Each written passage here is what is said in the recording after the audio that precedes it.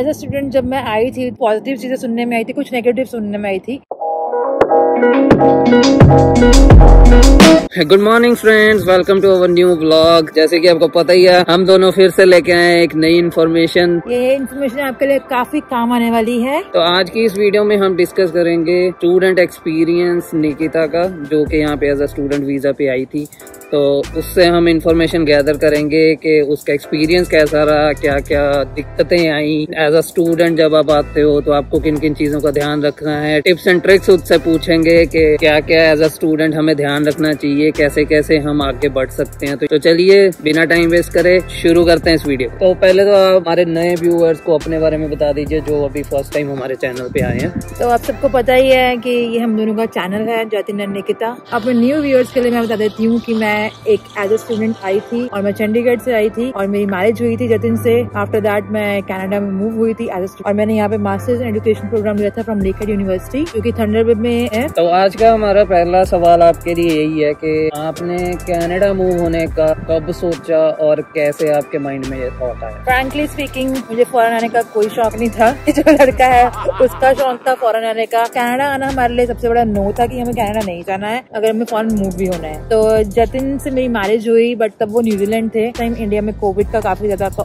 India में तो क्या, पूरे वर्ल्ड में कोविड का काफ़ी ज़्यादा चल रहा था तो मैं न्यूजीलैंड नहीं मूव कर पाई। हमें डेढ़ साल अलग रहना पड़ा। मैंने सोचा की न्यूजीलैंड तो नहीं जा पा रही, क्योंकि बॉर्डर क्लोज है वहाँ तो मेरी एक फ्रेंड ने मुझे राय दी, तू कैनेडा क्यों नहीं मूव हो जाती? और वो यूएस में रहती है। तो लाइक ओके तो मैंने बात मुझे कनाडा आना पसंद नहीं था। तो मैंने जतिन से डिस्कस किया कि स्टडी वीज़ा पे मैं कनाडा चली जाती हूँ और हम शायद वहाँ पर यूनाइट हो जाएँगे। तब मैंने सोचा कि ठीक है मैं वहाँ जाती हूँ। मैं ये भी बता देती हूँ व्यूअर्स को कि ऐसा नहीं है कि अगर आपका कोई वीज़ा रिजेक्ट हो गया तो आपको डरने की ज़रूरत है इसके लिए भी। तो हौसला रखना है मेरा फ़र्स्ट स्टडी वीज़ा रिजेक्ट हो गया था उसके लिए मैं खुश बहुत हुई थी क्योंकि मुझे बाहर नहीं जाना था। बट जब मेरे सेकंड आया तो मैंने सोचा कि ठीक है अब मुझे जाना होगा। अप्रैल में यहाँ मूव हुई 2021 में। उस टाइम कोविड जो है बहुत पीक पे था और मैंने यहाँ पे क्वारंटीन भी किया था। अगला क्वेश्चन हमारे व्यूअर्स की तरफ़ से यही है कि आप एज अ स्टूडेंट आए थे तो सबको पता चल गया। तो आप एज अ स्टूडेंट ही क्यों आना चाहते थे? आप डायरेक्ट पीआर लेके भी आ सकते थे। तो आपके माइंड में वो ऑप्शन क्यों नहीं आया? हमारे माइंड में वो ऑप्शन आया था कि मैं डायरेक्ट पीआर भी आ सकती हूँ। बट उसके लिए ये इशू था कि मेरे पास इतना वर्क एक्सपीरियंस नहीं था जिससे मेरे पॉइंट्स बन पाते पहली बात। दूसरी बात ये थी कि उसके लिए आयल्स के लिए ट्रिपल सेवन एट चाहिए होता है। मैंने टू टाइम्स आयल्स दिया था तो सेकंड टाइम मेरे सेवन आए थे। उसके लिए जनरल के लिए देना होता है और दूसरा होता है अकेडमिक तो मुझे पता था कि नहीं, हमारा हो नहीं पाएगा और जतिन इनका भी नहीं हो पा रहा था उस साइड से। मैंने ये ऑप्शन यही समझा कि चलो एज अ स्टूडेंट ही चले जाते हैं स्ट्रगल ही करनी है तो कर लेंगे। और तीसरी बात ये भी थी कि मैंने पीआर के लिए इसलिए भी नहीं देखा क्योंकि फ़ाइल लगाने के बाद से लेके एंड तक का प्रोसेस आई थिंक साल, डेढ़ साल का था। और वैसे भी कोविड चल रहा था तो वीजे वैसे भी बंद थे तो पता नहीं था पीयर का क्या सीन बनेगा, क्या नहीं बनेगा। तो स्टडी जो था वो हमारे लिए उस टाइम बेस्ट ऑप्शन था। जो भी स्टूडेंट्स यहाँ पे आना चाहते हैं, उनके मन में एक क्वेश्चन ज़रूर रहता है कि यहाँ आके हमें किन चीज़ों को फेस करना पड़ता है। क्या आपके बैड एक्सपीरियंसेस थे? क्या आपको अच्छा देखने को मिला? तो वो ज़रूर बताइए। एज अ स्टूडेंट जब मैं आई थी तो मैंने जब इंडिया में बातें सुनी, कैसा होगा कैनेडा में जाने के बाद पॉजिटिव चीज़ें सुनने में आई थी, कुछ नेगेटिव सुनने में आई थी। बात तो ये है कि जब मैं यहाँ पर आई, तब जाके मैंने जो चीज़ें फेस करी तो वाली बात ये है कि आपके यहाँ कोई फ्रेंड्स नहीं होते, कोई फैमिली नहीं होती तो खुद इंडिपेंडेंटली यहाँ पे सब कुछ करना पड़ता है। और जो यहाँ के लोग हैं, अगर मैं बात करूँ फॉरनर्स की तो वो बहुत अच्छे हैं हेल्पफुल हैं। अगर मैं अपनी खुद की कम्युनिटी की बात करूँ कि मैं सोचूं कि मेरे हिजाब से आया है या कहीं चंडीगढ़ से आया है दिल्ली से आया कोई भी मेरा फ्रेंड है हम्म। या ये ऑलरेडी यहाँ पर बसे हुए लोग हैं बट वो लोग आपकी हेल्प नहीं करते वो हमेशा आपकी टांग खींचते हैं ये रियलिटी है। ये सोच के मत है ना कि मेरी मासी का बेटा वहाँ बैठा है तो वो आपकी हेल्प कर देगा। कोई आपकी हेल्प नहीं करेगा बट हाँ मैंने किसी से हेल्प मांगी भी नहीं थी बट मेरे साथ एक इंसिडेंट हुआ था तो मैंने कानों को हाथ लगाया था कि मैं किसी की हेल्प नहीं लूँगी मैं इंडिपेंडेंटली खुद करूँगी। और अगर मुझे मुसीबत भी आई तो मैं शायद अपने फॉरन फ्रेंड की हेल्प ले सकती हूँ बट इंडियंस की बिल्कुल नहीं ले सकती हूँ बट मेरे कुछ अच्छे फ्रेंड्स भी बने जो मेरे साथ आज भी साथ में और कुछ बुरे दोस्त बने जिनको मैं ऑलरेडी बाय कर चुकी हूँ।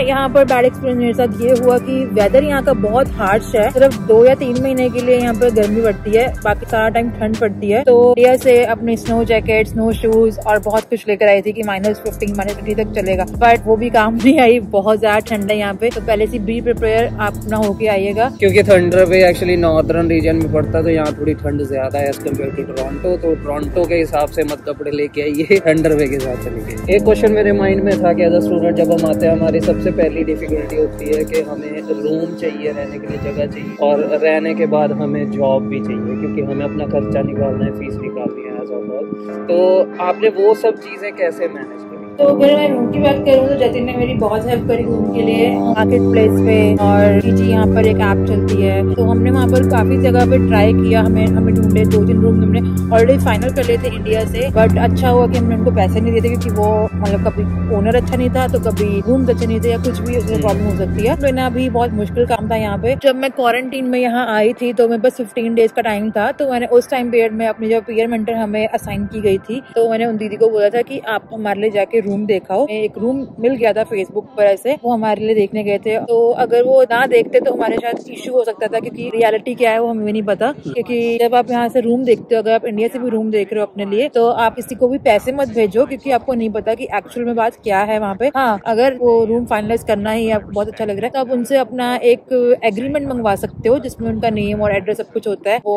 हम जैसे इंडिया में भी करते हैं एग्रीमेंट वाली चीज़ तो वो मंगवा सकते हो एज अ प्रूफ ताकि आपको यहाँ की कोई प्रॉब्लम ना हो। और जॉब का ऐसा हुआ कि जब मैं क्वारंटीन में थी आ, मैंने उससे पहले तो नहीं रिसर्च किया था जॉब के लिए यहाँ पर कि कैसा चलता है। बट मैं जब क्वारंटीन में थी तो हम फ्री होते हैं उस टाइम पे तो मैंने काफ़ी रिसर्च करी तो जब मैंने काफ़ी वीडियोस देखी तो पता लगा कनाडा और इंडिया के रिज्यूमे में बहुत फ़र्क है। तो मैंने अपना रिज्यूमे जो है वो कनाडा के हिसाब से बनाया और ऐसा नहीं मैंने पाँच या दस जॉब्स को हमने अप्लाई किया था इंडीड पे। आई थिंक मेरे को याद भी नहीं मैंने कितनी जॉब अप्लाई की थी। उसमें जाके एक जॉब का इंटरव्यू आया था वो भी आई थिंक वन मंथ के बाद। मैंने फ़र्स्ट जॉब तब ज्वाइन की थी एज अ पार्ट टाइम और वो फ़ूड इंडस्ट्री में थी। कि स्टूडेंट लाइफ एक्सपीरियंस है, काफ़ी कुछ सीखने को मिला है नो डाउट व्यूअर्स ने भी काफ़ी कुछ सीखा होगा। एट लास्ट मैं आपसे एक ही रिक्वेस्ट करूँगा कि आप अपने व्यूअर्स को एक अच्छी एडवाइस जो कि उनको चाहिए होते जब वो इंडिया से आते हैं, जिसकी वो हमेशा सर्च में रहते हैं तो वो एक एडवाइस ज़रूर दे दीजिए व्यूअर्स तो एडवाइस यही है शॉर्ट एंड सिंपल इंडिपेंडेंट होके आओ, अपनी पूरी प्लानिंग करके आओ, जब आप वहाँ से आ रहे हो, जब आपने टिकट्स बुक कर दी है, वहाँ से लेके अगले दो महीने तक का सफ़र आपका क्या होगा आपका पूरा प्लान होना चाहिए, ऐसी क्या प्लानिंग है क्योंकि मैं ये चीज़ करके आई थी और मैं बहुत सक्सेसफुल रही इस वीक में। दूसरी बात ये है कि किसी को ट्रस्ट मत करो की आपका ये हेल्प कर देगा या नहीं करेगा। Most of the important thing मैं कहनी चाहूँगी की इंडियन ही जो है यहाँ पर तो वो ही आपकी टांग खींचेंगे तो सब पे ट्रस्ट मत करना। अपना दिमाग खुद चलाना, आप इतने बड़े हो गए हो कि अपना दिमाग चलाना होगा आपको। और अगर आप आ रहे हो इंडिया से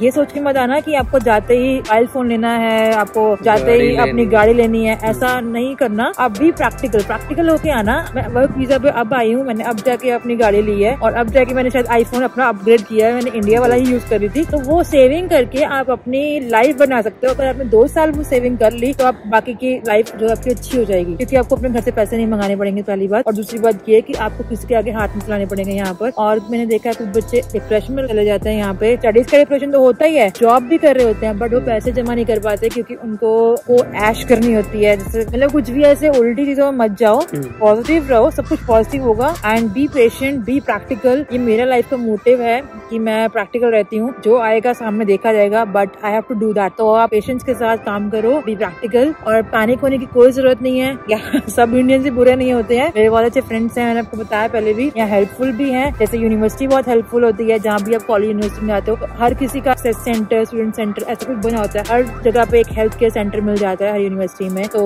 अगर आपको कोई डिप्रेशन जैसी प्रॉब्लम आ रही है, या आपको लग रहा है, या आपको फैमिली किया जा रही है, या पैनिक हो रही है तो आप कंसल्ट कर सकते हो वहाँ पर। तो thank you so much Nikita इन इतनी अच्छी इन्फॉर्मेशन शेयर करने के लिए, अपना एक्सपीरियंस बताने के लिए। तो मुझे भी बहुत सारी बातें अच्छी लगी, क्योंकि एज अ स्टूडेंट मैंने तो न्यूजीलैंड में एक्सपीरियंस किया था, लेकिन इसका एक्सपीरियंस डिफरेंट रहा है। मुझे अच्छा लगा ये बात कि आप इंडिपेंडेंटली आओ। अपने बलबूते पे करो, जो भी करो, किसी की बातों में मत आओ। और दूसरी बात यही है कि रियलिटी में रहो। ड्रीम्स लेने अच्छी बात है, लेकिन रियलिटी में रह के ड्रीम्स को पूरा करना एक अलग बात होती है। अगर आप लोगों ने मेरा यूनिवर्सिटी वाला ब्लॉग नहीं देखा है तो उसका बेल आइकन यहाँ कहीं आ रहा होगा तो आप ज़रूर चेक करें। वहाँ पे आपको मेरी पूरी इंट्रो मिल जाएगी कि मैं कहाँ से आई हूँ और मैं कहाँ से बिलोंग करती हूँ और मैंने क्या कुछ किया है। तो अगर आपको हमारी इन्फॉर्मेशन अच्छी लगी हो हेल्पफुल लगी हो यूजफुल लगी हो तो हमारे ब्लॉग को लाइक शेयर एंड कमेंट करना मत भूलना। और फिर भी अगर आप कुछ डाउट्स आते हैं तो आप हमें कमेंट सेक्शन में कमेंट्स कर सकते हो। I will reply you back और हमें डीएम कर सकते हो इंस्टाग्राम पे अगर आपको यहाँ पर शर्म लगती है कोई कमेंट पूछने के लिए। उसका भी लिंक हमने डिस्क्रिप्शन में दे रखा है और मेक श्योर बेल आइकन को ज़रूर दबाएँ ताकि हम और अच्छी अच्छी वीडियोस आपके लिए लेके आए क्योंकि बहुत सारा इन्फॉर्मेटिव कंटेंट एज ऑलवेज हमेशा रेडी है आता ही रहेगा। Okay one two three start good morning friends welcome to our new blog तो जैसे कि आपको पता ही है, हम दोनों फिर से लेके आए हैं एक नई इंफॉर्मेटिव और ये इन्फॉर्मेशन आपके काफ़ी इम्पोर्टेंट होने वाली है। तो चलिए, बिना टाइम वेस्ट करे, शुरू करते हैं। नहीं नहीं नहीं।